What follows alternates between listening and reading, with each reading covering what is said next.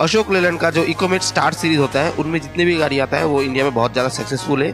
जो ICB segment होता है, यानी इंटरमीडिएट कमर्शियल व्हीकल सेगमेंट उस सेगमेंट में ये जो अशोक लेलन का जो स्टार सीरीज़ है, इकोमेट स्टार, बहुत ज़्यादा सक्सेसफुल है। और इसी सेगमेंट को दोस्तों, अशोक लेलन ने और ज़्यादा इंक्रीज किया है। इसका जो दोस्तों रेंज है, उसको और ज़्यादा बढ़ा दिया गया है। और उसमें एक जो ट्रक है, नया ट्रक जो अशोक लेलन इकोमेट स्टार 1915 जो बोल के एक मॉडल है, उसको लॉन्च किया गया है, जो कि दोस्तों अशोक लेलैंड ये स्टार इकोमेट स्टार सीरीज़ में सबसे ज़्यादा जो जीबीडब्ल्यू और जो पेलोड है, वो ऑफ़र कर रहा है।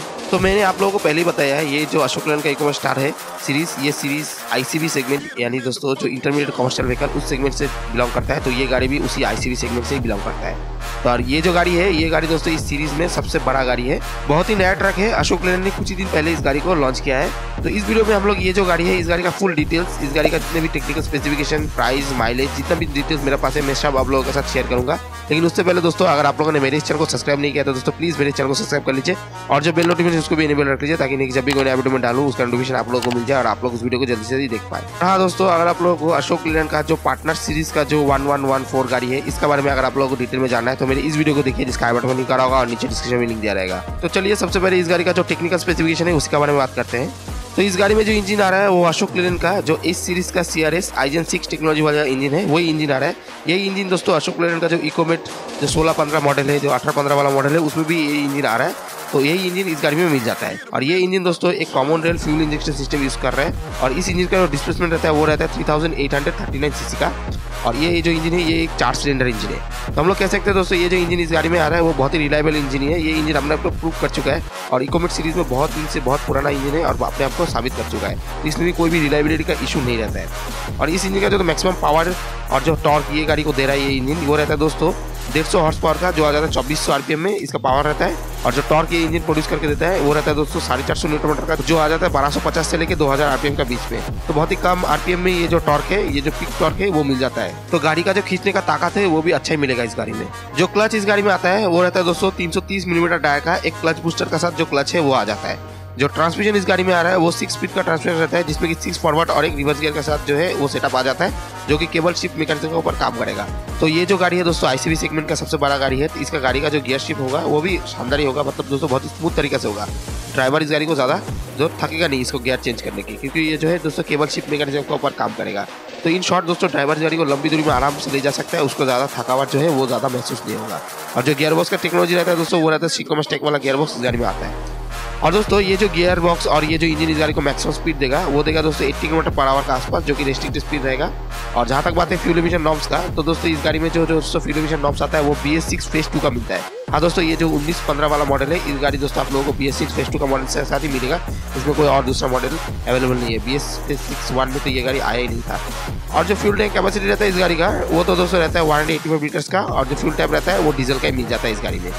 अब दोस्तों, जो इलेक्ट्रिकल सर जो बैटरी सिस्टम इस गाड़ी में आता है, वो रहता है दोस्तों बारह वोल्ट का जो है इलेक्ट्रिक करंट इस गाड़ी में दौड़ रहा है। और जो बैटरी आता है कंपनी द्वारा इस गाड़ी में, वो रहता है दोस्तों एक सौ बीस आवर का। और जो अल्टरनेटर इस गाड़ी में मिल जाता है, वो मिल जाता है दोस्तों नाइन्टी एम्पियर्स का। आप बात कर लेते हैं, इस गाड़ी का जो पेलोड और जो जी है उसके बारे में। तो इस गाड़ी का जो जीबीडब्ल्यू रहता है, वो रहता है दोस्तों एटीन थाउज़ेंड के जी का, यानी 18.5 टन का जो जीबीडब्ल्यू है, ये इस गाड़ी का रहता है। और जो पेलोड ये गाड़ी ऑफ़र करता है अलग अलग मॉडल का अलग अलग रहता है। दोस्तों, वही दोस्तों 11.5 टन से लेकर 12 टन का जो बीच इसका पेलोड जो है वैरी करता है। डिपेंडिंग अपन आप कौन सा वेरियंट दे हैं लोडिंग स्पैन जो बीस फीट वाला या फिर बाईस फीट वाला। जो बीस फीट वाला मॉडल रहता है, उस गाड़ी का दोस्तों जो पेलोड रहता है, वो रहता है ट्वेल्व टन का। और जो बाईस फीट वाला मॉडल रहता है, उसका पेलोड रहता है इलेवन पॉइंट फाइव टन का। जो लोड बॉडी का ऑप्शन इस गाड़ी का मिलता है, वो मिलता है दोस्तों fix side deck drop side deck और हाई साइड डेक में ये गाड़ी कंपनी द्वारा मिल जाता है ऑफिशियली जो लोडिंग स्पैन रहता है दोस्तों, इसमें दो प्रकार का लोडिंग स्पैन मिलता है, एक तो बीस फीट का और एक बाईस फीट का। जो कैबिन टैग इस गाड़ी में आता है, वो आप लोगों को डे कैबिन और स्लीपर कैबिन दोनों ऑप्शन में कंपनी द्वारा मिल जाता है। जो कैबिन टाइप इस गाड़ी में आता है, वो मैनुअल टिल्टेबल कैबिन आ जाता है। जो चैसिस फ्रेम रहता है, वो दोस्तों बोल्टेड लेडर टाइप का जो चैसिस है, वो मिल जाता है। तो बहुत ही शानदार चैसिस भी, इसका मजबूती भी अच्छा रहेगा। जो एक्सेल कॉन्फ़िगरेशन रहता है, वो फोर बाई टू का रहता है। तो इस गाड़ी में दोस्तों, सामने आप लोगों को एक एक्सेल मिल जाएगा और पीछे में एक एक्सेल यानी दोस्तों, इस गाड़ी का टोटल टायर सेटअप छः वाला रहेगा। अब हम लोग इस गाड़ी का जो फ्रंट एक्सेल है इसका बात करते हैं। तो फ्रंट एक्सेल में इसका फोर्स्ट आई बीम रिवर्स इनो टाइप का एक्सेल मिल जाता है। और जो रियर एक्सेल इस गाड़ी में आता है, वो दोस्तों फुल्ली फ्लोटिंग सिंगल स्पीड का जो हाईपोट एक्सेल है, वो मिल जाता है। पीछे का जो एक्सेल इस गाड़ी में दिया गया है, वो बहुत ही हेवी दिया गया है। आइए हम लोग इस गाड़ी का जो सस्पेंशन है, इसका बात करते हैं। तो इस गाड़ी में सामने सेमी इलेक्ट्रिकल लिस्पिंग वाला सस्पेंशन दिया गया है और पीछे में भी सेमी इलेक्ट्रिकल लिस्पिंग वाला सस्पेंशन दिया गया है इस गाड़ी में।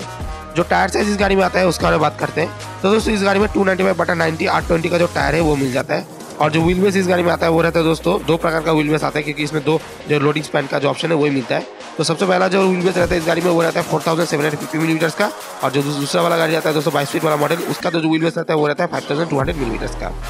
तो जितने भी टेक्निकल डिटेल्स है इस गाड़ी का, उसका सबका बारे में मैंने अभी फ़िलहाल बात किया है। और अगर कुछ भी छूटा है दोस्तों मेरे से तो कमेंट में ज़रूर से लिखेगा मैं उसका बारे में ज़रूर से रिप्लाई करूँगा। आगे बढ़ते हैं और जान लेते हैं, ये जो गाड़ी है दोस्तों, इसका एप्लीकेशन यूजेस और ये गाड़ी आपको लेना चाहिए। लेकिन उससे पहले दोस्तों, अगर आप लोगों ने मेरे चैनल को सब्सक्राइब नहीं किया तो प्लीज़ मेरे चैनल को सब्सक्राइब कर लीजिए और जो बेल नोटिफिकेशन को मेरे रख लीजिए, ताकि नेक्स्ट जब भी कोई वीडियो में डालू, उसका नोटिफिकेशन आप लोगों को मिल जाए और आप लोग उस वीडियो को जल्द से देख पाए। साथ ही दोस्तों, अगर आप लोगों को सभी अशोक लेन का ट्रक्स के बारे में जानना है तो मेरी इस प्लेलिस्ट को देखिए, जिसका आई बटन लिखा होगा और नीचे डिस्क्रिप्शन में लिंक दिया रहेगा। तो जहाँ तक बात है, इस गाड़ी का दोस्तों जो एप्लीकेशन यूजेस तो वो दोस्तों ये आईसीबी कैटेगरी से बिलोंग करता है। यानी इंटरमीडिएट कमर्शियल व्हीकल तो इसी का जो एप्लीकेशन है, वही दोस्तों इंटरमीडिएट जो सिटी सिटी ट्रांसपोर्टेशन होता है, उसी के लिए ये गाड़ी बहुत ही अच्छा रहता है। जो दोस्तों फास्ट डिलीवरी होता है, बहुत ही लंबी दूरी। जैसे कि दोस्तों हमारे यहाँ पर सिलीगुड़ी से लेकर कोलकाता, जो फास्ट डिलीवरी होता है, जैसे बिस्किट का लोड कच्चा माल का लोड एफएनजीजी प्रोडक्ट जो दोस्तों, जो ग्यारह बारह टन का आसपास जो पेलोड जो रेफर करता है, उस सेगमेंट में आ जाता है। इन तरह का जो डिलीवरी होता है, बहुत ही फास्ट डिलीवरी तो उन तरह का सीनरी में जो ये गाड़ी है, ये गाड़ी बहुत ही अच्छा रहता है। माइलेज भी बढ़िया देगा। कंपेरेटिवली इसका जो दोस्तों, जो हॉलिस ट्रक्स होता है, उनसे ये जो गाड़ी है, ज़्यादा अच्छा माइलेज दे देगा। क्योंकि ये जो आई सी से बिलोंग करता है तो कंपनी इसी को इसी का हिसाब से डिज़ाइन करता है। तो दोस्तों, जो कच्चा माल होता है फास्ट डिलीवरी जो दोस्तों लंबी दूरी, या फिर शॉर्ट डिलीवरी भी दोस्तों, जो बहुत ही फास्ट डिलीवरी होता है, जो हेवी लोड भी हो, वहाँ पर चला जाता है। तो इन तरह का एप्लीकेशन में ये गाड़ी बहुत ही अच्छा से चलेगा। और अगर आप लोगों का नीड इसी प्रकार का आसपास है तो आप लोग इस गाड़ी के साथ बेझिझक जा पाएँगे। ये जो गाड़ी है बहुत ही अच्छा रहता है। तो अगर आप लोगों को एक अच्छा माइलेज चाहिए आप लोगों का लोड जो दोस्तों वही बारह टन का आसपास रहता है लंबी दूरी में फास्ट डिलीवरी रहता है इन तरह का जो लोड रहता है तो आप लोग इस गाड़ी के साथ ज़रूर से जाइएगा। और जो कच्चा माल होता है मंडी से मंडी दोस्तों जो ट्रांसपोर्टेशन होता है वो भी दोस्तों ये बहुत ही अच्छा चल, चल, चलेगा ये सब गाड़ी। तो अगर आप लोगों का नीड ऐसा ही है तो आप लोग इस गाड़ी के साथ चाहिए ये जो गाड़ी है माइलेज भी अच्छा देगा। और दोस्तों इसका जो मेंटेनेंस भी है कम पड़ेगा अकॉर्डिंग जो जो हॉलिस है उनसे तो ये गाड़ी आप लोगों को अच्छा प्रॉफिट निकाल के देगा। तो उसी का आसपास अगर आप लोगों का नीड है तो ये गाड़ी का साथ ज़रूर से जाइएगा। बहुत ही सक्सेसफुल गाड़ी है और जो इंजन भी है, वो बहुत ही रिलायबल और जो पुराना इंजन है, वो कंपनी इस गाड़ी में दे रहा है। तो वहाँ पर भी कोई चिंता करने का बात नहीं रहता है। अब बात कर लेते हैं दोस्तों, इस गाड़ी का जो प्राइस और जो माइलेज है इसका बारे में। जो जो माइलेज रहता है इस गाड़ी का, वो दोस्तों वेरी करता है डिपेंडिंग अपॉन लोड रोड और ड्राइवर इस गाड़ी को कैसे चला रहा है उसका पर लेकिन इसका जो अप्रोक्सीमेशन जो प्राइस जो माइलेज देगा ये गाड़ी, वो मैं आप लोगों को बता पाऊँगा। वो दोस्तों सात किलोमीटर पर लीटर का आसपास जो है इस गाड़ी से जो माइलेज है, वो आप लोग उम्मीद कर पाएँगे अगर बहुत अच्छे से गाड़ी को चलाया है। लेकिन दोस्तों, अगर आप लोग बहुत लोड है, बहुत खराब रास्ता है तो माइलेज जो है वो सात का नीचे मिलेगा। उससे ज़्यादा सात या आठ, उससे ज़्यादा जो माइलेज इस गाड़ी से उम्मीद करना बहुत ही बेकार रहेगा। सात का आसपास ही जो माइलेज है, इस गाड़ी से मिल जाएगा, अगर आप लोग बहुत ही अच्छे से इस गाड़ी को चलाए। और जहाँ तक बात है प्राइस का तो दोस्तों, इस गाड़ी का जो प्राइस है, वो ऑफिशियली अभी तक अनाउंस तो नहीं हुआ है, लेकिन मेरे हिसाब से दोस्तों, इस गाड़ी का जो on road price on road price आप लोगों का पच्चीस लाख का आसपास जो है ऑन रोड ये गाड़ी मिल जाएगा। अगर लेकिन अगर आपको इस गाड़ी का एग्जैक्ट प्राइसिंग पता करना है तो कुछ दिन रुक जाइए या फिर जो अशोक लैंड का नियरेस्ट जो डीलरशिप है, वहाँ पर जाइए। वहाँ से इस गाड़ी का एग्जैक्ट शोरूम प्राइस आप लोगों का सिर्फ़ में पता कर सकते हैं। तो थैंक यू दोस्तों, मिलते हैं कोई नेक्स्ट वीडियो में कोई और गाड़ी के साथ, तब तक के लिए शुक्रिया।